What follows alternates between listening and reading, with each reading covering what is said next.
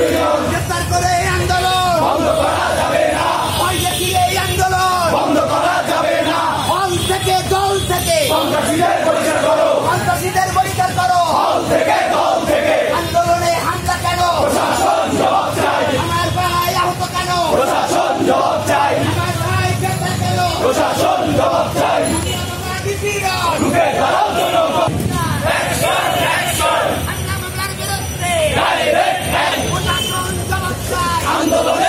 কেন বন্ধ করা যাবে না। করতে হবে। করে। সংস্কারের প্রজ্ঞাপন। করতে হবে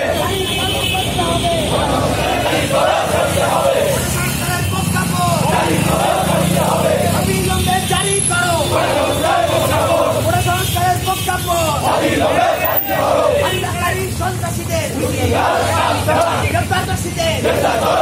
করো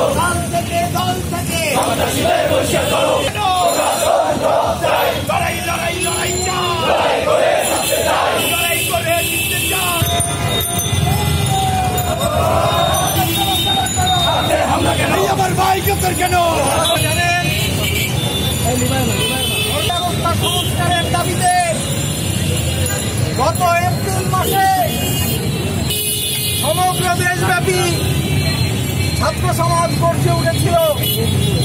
আমরা দেখেছিলাম, আজ এপ্রিল থেকে শুরু করে নানান ঘটনা প্রবাহের মাধ্যমে এগারোই এপ্রিল দিয়ে সেই কোটা সংস্কারের দাবিতে যে আন্দোলন, এই আন্দোলনকে রাষ্ট্রীয়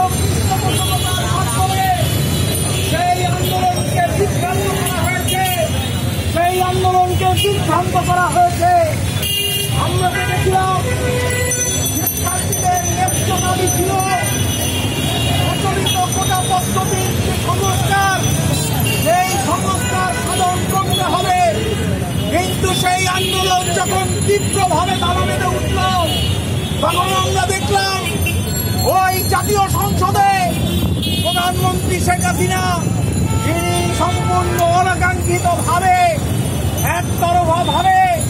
তিনি কোটা বাতিলের সিদ্ধান্ত জানিয়ে দিলেন।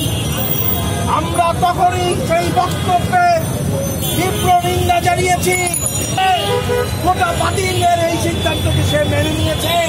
তাহলে বুঝতে হবে তার কোনো বিরোধী শক্তি রয়েছে। আমরা বলেছি গ্রহণযোগ্য ভাবে গোটা ব্যবস্থা সংস্কারের জন্য বাংলাদেশে যত শিক্ষাবিদ আছে, যত সরকারি কর্ম কমিশনে গুরুত্বপূর্ণ দায়িত্ব পালন করেছে, এরকম ব্যক্তিবর্গ রয়েছে।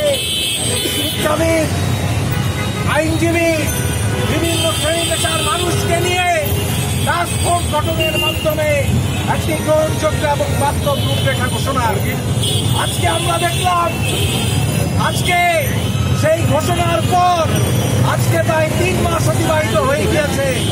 এই তিন মাসের ভেতরে সরকারের কোন সুনির্দিষ্ট তৎপরতা আমরা।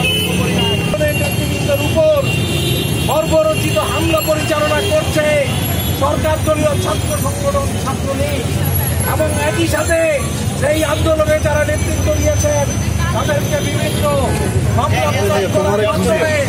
গ্রেপ্তারি পরোয়ানার মাধ্যমে, গ্রেপ্তার করবার মাধ্যমে, তুলে নিয়ে যাওয়ার মাধ্যমে তাদেরকে হয়রানি করা হচ্ছে আমরা বলতে চাই একটি গণতান্ত্রিক রাষ্ট্রে কখনোই গণতান্ত্রিক আন্দোলনের উপর এই ধরনের আক্রমণ মেনে নেওয়া যায় না।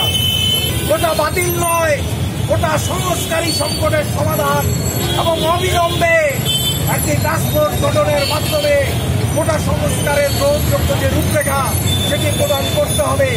সম্পূর্ণ সন্ত্রাসের ভাষায়, সন্ত্রাসী কায়দায় যারা নির্মম এবং বর্বরচিত হামলা রচনা করেছেন তাদের দৃষ্টান্তমূলক শাস্তি আমরা দাবি করি। একই সঙ্গে আমরা ঢাকা বিশ্ববিদ্যালয় প্রশাসনের এই ব্যাখ্যারজনক নির্লিপ্ততার আমরা তীব্র নিন্দা জানাই এবং আমরা বলতে চাই, এইভাবে নির্লিপ্ত থেকে, এইভাবে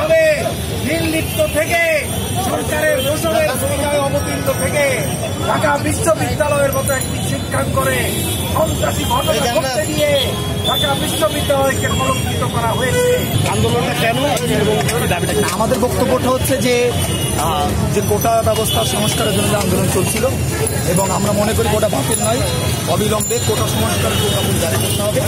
একই সঙ্গে আন্দোলনকে যাতে কোনোভাবে আর ভয় ভীতি প্রদর্শন করে আমার সঙ্গে তার ভিন্ন মত থাকতেই পারে। তার মানে আমি তার উপর শারীরিক শক্তি প্রদর্শন করব। এটি কখনো একটি গণতান্ত্রিক রাষ্ট্রের ভাষা হতে পারে না। এবং ঢাকা বিশ্ববিদ্যালয় অভ্যন্তরে কালকের পরশুদিন থেকেই একের পর এক যেভাবে হামলা রচনা করা হচ্ছে, আমরা তীব্র প্রতিবাদ জানাই। আমরা মনে করি হামলাকারী যে দলেরই হোক, যে সংগঠনই হোক, তাকে সেই দল যদি তার নিজস্ব অস্তিত্ব বা নিজস্ব ইমেজ ঠিক রাখতে চায়, তাহলে সেই হামলাকারী সন্ত্রাসীদের তারা বহিষ্কার করবে এবং বিশ্ববিদ্যালয় প্রশাসন এক্ষেত্রে এক ব্যাপক নির্লিপ্ততার পরিচয় দিচ্ছে। আমরা মনে করি ঢাকা বিশ্ববিদ্যালয় প্রশাসন তার জায়গা থেকে যারা এই সন্ত্রাস করছে তাদেরকে চিহ্নিত করে তাদেরকে ঢাকা বিশ্ববিদ্যালয় থেকে বহিষ্কার করবে এবং যাদেরকে আটক করা হচ্ছে ভয়ভীতি প্রদর্শনের লক্ষ্যে, সে আটককৃতদের অবিলম্বে মুক্তি দেওয়া হবে।